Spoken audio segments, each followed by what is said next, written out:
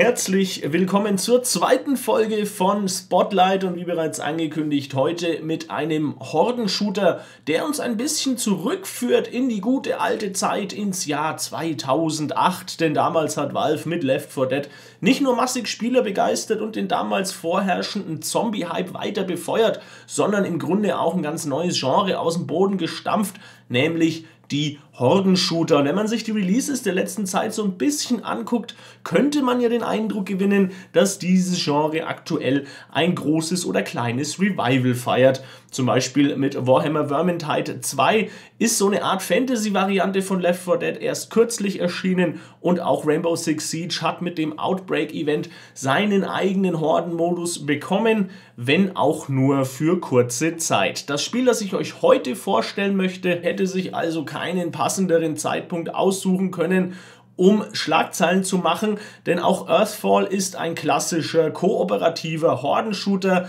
der sich schamlos bei Left 4 Dead bedient, das Spielkonzept nicht besonders mutig mit neuen Elementen aufbricht, dabei technisch noch nicht ganz auf der Höhe, aber für Genre-Fans durchaus einen Blick wert ist was Earthfall jetzt besonders macht, welche eigenen Wege es versucht zu gehen und warum man durchaus seinen Spaß damit haben kann, das möchte ich euch in den nächsten paar Minuten verraten. Eine Sache vorneweg noch, ich habe den Key für Earthfall vom Publisher gesponsert gekriegt.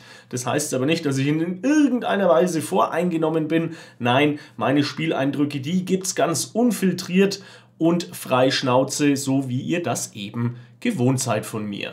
Earthfall ist derzeit auf Steam im Early Access und für knapp 15 Euro erhältlich. Entwickler Holospark will den Titel in Kürze auch für Xbox One und PlayStation 4 veröffentlichen. Die Aufnahmen, die ihr seht, die stammen aus der PC-Fassung. Wer Left 4 Dead kennt, dem brauche ich das Spielkonzept von Earthfall eigentlich gar nicht mehr zu beschreiben. In jeder Mission bahnt ihr euch mit drei anderen Spielern oder eben mehr oder minder begabten KI-Begleitern einen Weg durch ein schlauchiges Areal voll mit Gegnern. Die spawnen en masse an zufälligen Punkten der Karte und fallen euch aus allen Himmelsrichtungen an.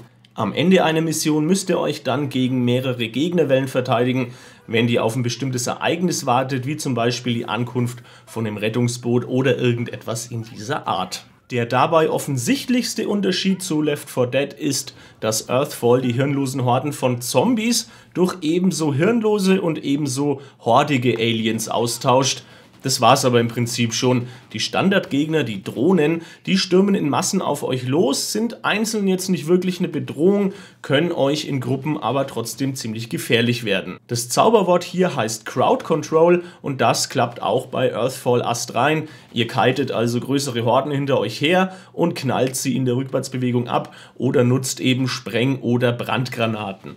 Bei solchen Manövern, da solltet ihr aber immer auf eure Ausdauer achten, denn in Earthfall könnt ihr nicht Dauersprinten.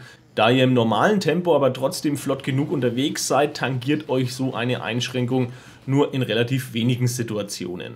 Neben den Drohnen gibt es auch spezielle Aliens, Sapper, Thrasher und Whiplash, die sind allesamt 1 zu 1 ihren Vorbildern aus Left 4 Dead nachempfunden und entsprechen also dem Boomer, dem Hunter oder eben auch dem Jockey.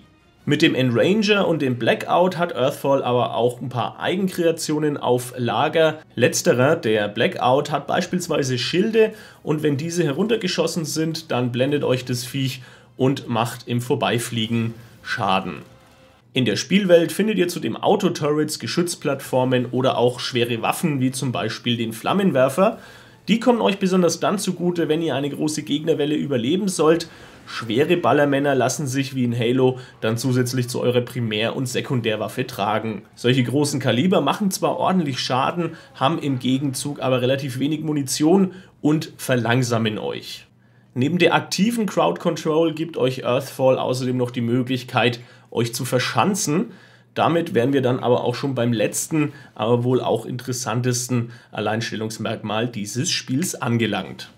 An bestimmten Locations, da findet ihr Barrikaden und mit denen verrammelt ihr dann Türen und Zugangswege und errichtet euch so schnell und einfach quasi eine kleine Safe Zone. Oftmals findet ihr dort auch so eine Art 3D-Drucker, mit dem ihr, so wie am Fabricator aus Gears of War 4, bessere Waffen oder auch Geschütztürme craften könnt. Eure Barrikaden, die halten die Aliens für kurze Zeit auf, ohne euch dabei aber einzusperren, Gerade wenn ihr gegen eine große Horde kämpft, ist es sinnvoll, diese Vorteile zu nutzen. An und für sich finde ich dieses Feature ziemlich gelungen. Der Einsatz von Barrikaden ist eine tolle Ergänzung zum ansonsten ja recht drögen und auch schon ein bisschen ausgelutschten Spielkonzept. Leider seid ihr im Spiel aber eher selten wirklich darauf angewiesen, euch zu verschanzen und da hätte ich mir einfach mehr Mut von den Entwicklern gewünscht, statt einfach eine etwas abgewandelte Kopie von Left 4 Dead zu machen, wäre es mir lieber gewesen, man hätte das Spiel mehr aufs Verschanzen ausgelegt und dann meinetwegen so wie in Smite auch noch Fallen und anderen Kram reingebracht. Eine etwas weniger klassische Herangehensweise und die hätte es meiner Meinung nach auch für die Langzeitmotivation gebraucht, denn sowas wie Spielerfortschritt, den gibt es in Earthfall nicht. Im Vergleich zu Vermintide verzichtet Earthfall quasi komplett auf Progression-Finessen. Es gibt keine Stufenaufstiege oder Beutewürfel. Entscheidend über Sieg oder Niederlage ist weitgehend nur euer Können und eben die Zusammenarbeit mit eurem Team. Das Einzige, was ihr aus abgeschlossenen Missionen mitnehmt, sind Vorlagen für den 3D-Drucker und so könnt ihr dann zum Beispiel schneller auf bessere Waffen zurückgreifen. Zudem gibt es immer wieder neue Infos über die Aliens, die als Codex-Eintrag freigeschaltet werden und so stückelt ihr euch dann nach und nach die Geschichte und die Hintergründe um die Alien-Invasion zusammen, was mich persönlich jetzt aber nicht sonderlich interessiert hat. Alles in allem ist das einfach nicht mehr zeitgemäß. Ein bisschen mehr Progression hätte da schon sein dürfen. Es muss ja nicht gleich ein ausgeklügeltes und zugegeben ziemlich kompliziertes System wie in Vermintide 2 sein.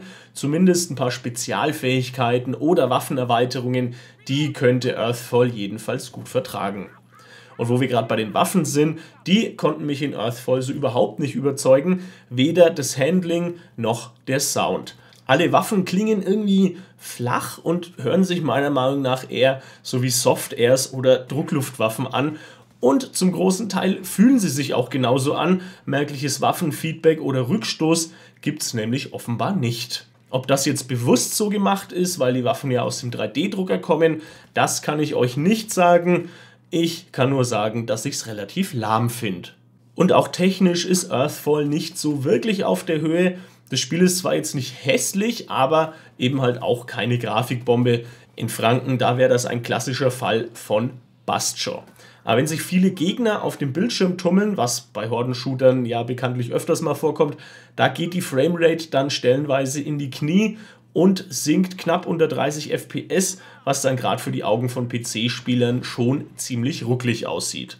Da sollten die Entwickler dringend nachbessern. Beachtet aber bitte, dass sich Earthfall, wie gesagt, noch im Early Access befindet und technische Mängel wie sowas bis zum finalen Release noch durchaus ausgemerzt werden können. Alles in allem richtet sich Earthfall meiner Meinung nach entweder an die kompletten Genre-Neueinsteiger, die sich so einen Horden-Shooter einfach mal ganz unverbindlich anschauen wollen, oder an alle, die seit dem Release von Left 4 Dead 2 sehnlichst auf irgend so ein neues Vierer-Koop-PvE-Dingens warten. Trotzdem für die 15 Euro macht ihr nicht allzu viel falsch. Für Genrefans also durchaus einen Blick wert. Für alle anderen, die sich damit zwar ein bisschen anfreunden können, jetzt aber nicht so hart in der Materie drin verankert sind, denen würde ich raten, vielleicht auf den einen oder anderen Steam Sale zu warten oder mal zu gucken, äh, wie es denn mit Freunden aussieht, ob die Freunde denn sowas zocken. Ich werde jetzt auf jeden Fall mich mal beim Publisher schlau machen, ob ich vielleicht für ein kleines Community-Gezocke mal ein paar Keys locker machen kann noch, die wir dann unter euch verteilen und dann könnt ihr mit mir zusammen ähm, dieses Spiel spielen, wenn es dann rauskommt. Hätte ich auf jeden Fall Bock drauf. Ich werde es auch im Auge behalten. Ich werde euch auch, wenn es erschienen ist, berichten, was sich jetzt so im Vergleich zur Early Access Version alles getan hat, ob es denn zum Besseren sich gewandelt hat oder zum Schlechteren, was ich nicht hoffe. Denn generell bin ich offen für solche Horden-Shooter. Die machen mir seit Left 4 Dead eigentlich schon immer ziemlich viel Spaß. Und das war es auch schon wieder mit dem Spotlight. Vielen Dank fürs Zuschauen und wir sehen uns dann beim nächsten Mal im Newsflash oder beim nächsten Spotlight. Ich plane den nächsten Newsflash so zum Wochenende hin, eher Ende des Wochenendes, also entweder Sonntag oder Montag dann zu veröffentlichen. Ich hoffe, ihr seid wie immer mit dabei. In diesem Sinne noch ein wunderschönes Wochenende. Ich bin raus, euer Olli.